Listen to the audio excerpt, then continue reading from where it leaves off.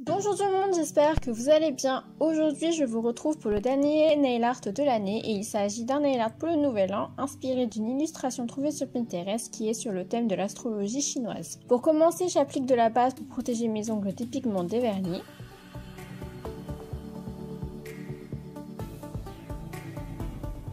Puis j'applique un vernis beige rosé en deux ou trois couches suivant l'opacité de votre vernis avec comme toujours la première couche bien fine qu'on laisse sécher 5 minutes, puis les autres couches un peu plus épaisses qu'on laisse sécher 10 minutes à chaque fois.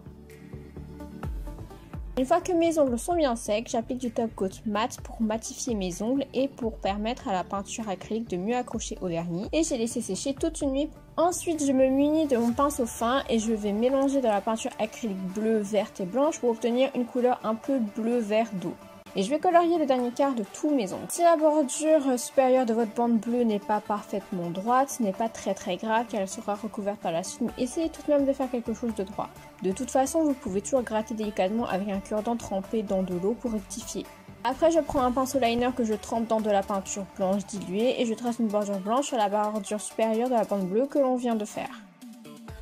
On va passer aux choses sérieuses et on va commencer le motif central de ce nail art que j'ai fait en accent nail. Donc avec mon pinceau fin, je vais dessiner un rat slash une souris puisqu'en astrologie chinoise, 2020 sera l'année du rat de la souris. En barre d'infos, je vous ai mis le lien de l'illustration qui m'a inspiré pour ce nail art et pour que vous puissiez mieux comprendre le motif. Donc j'ai commencé par dessiner la tête et les deux oreilles en forme de rond que j'ai un peu superposé.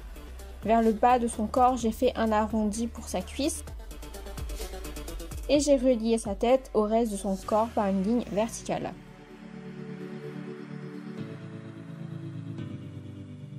Avec de la peinture grise obtenue en mélangeant du blanc et du noir, je viens faire quelques ombres pour délimiter ses oreilles et sa cuisse qu'on ne me voit pas faire à l'écran car je suis hors champ. Je m'excuse pour ça, je suis pas encore habituée à filmer dans cette position donc j'ai encore un peu tendance à être hors champ donc il y a certaines étapes qu'on ne me voit pas faire.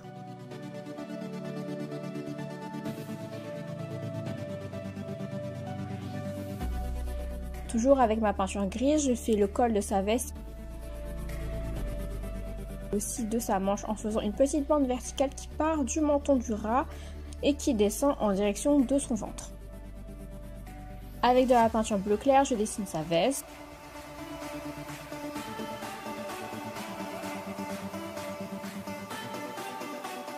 Avec de la peinture blanche, je dessine une main en forme de moufle. Avec du gris, je reforme la manche. Avec de la peinture bleu foncé, je trace les contours de la veste ainsi que le contour de la manche de la veste pour bien délimiter le bras de mon rat. Avec du rose clair, je dessine un rond dans l'oreille tournée vers nous en laissant apparaître un contour blanc.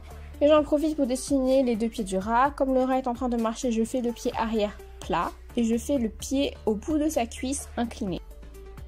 Et je fais aussi un petit point rouge au bout du museau pour terminer son nez.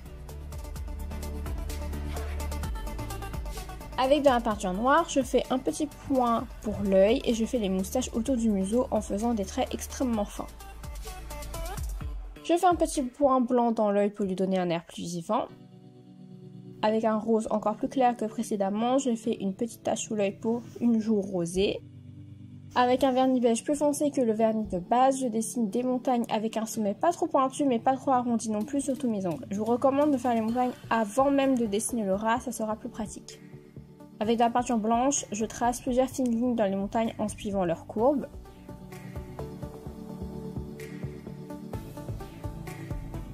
Avec un vernis marron ou de la peinture marron et un pinceau liner, je dessine un bout de bois qui part de la main du rat et qui est euh, horizontal.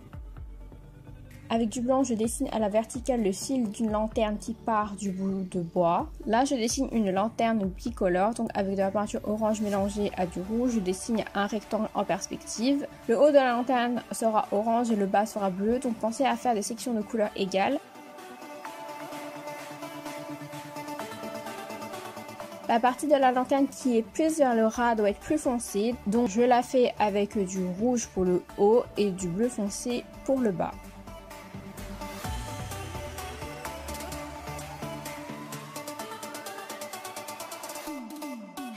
Avec de la peinture blanche extrêmement diluée, je dessine quelques nuages sur tous mes ongles en essayant de leur donner un aspect un peu estompé pour les faire légers. Donc je n'hésite pas à tapoter délicatement sur mes nuages avec mon doigt pour les estomper un peu. Je reprends du gris je trace une petite ombre sous la main pour faire l'autre main. Avec mon vernis marron, je dessine une branche d'arbre qui part du côté de mon ongle. Avec de la peinture verte et mon pinceau fin, je dessine les feuilles en leur donnant une forme d'éventail. Donc je dessine un V et je remplis l'intérieur des traits verticaux. Avec mon vernis beige foncé utilisé pour faire les montagnes et un dotting tool aiguille, je fais quelques petites fleurs à 5 pétales. Et avec mon vernis beige de base, je fais un tout petit point au centre des fleurs pour faire le cœur de la fleur. Avec de la peinture bleue et toujours mon pinceau fin, j'écris sur le haut de mon majeur Happy New Year et 2020.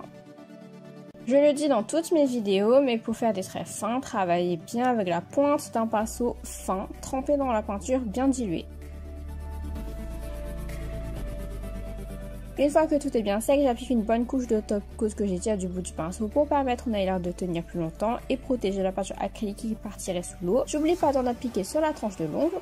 Et voilà le résultat final, j'espère que ce nail art vous plaît. N'oubliez pas de vous abonner, de liker, commenter et partager cette vidéo. Je vous souhaite de passer un bon réveillon du nouvel an. Je vous retrouve l'année prochaine pour de nouveaux nail art. Bye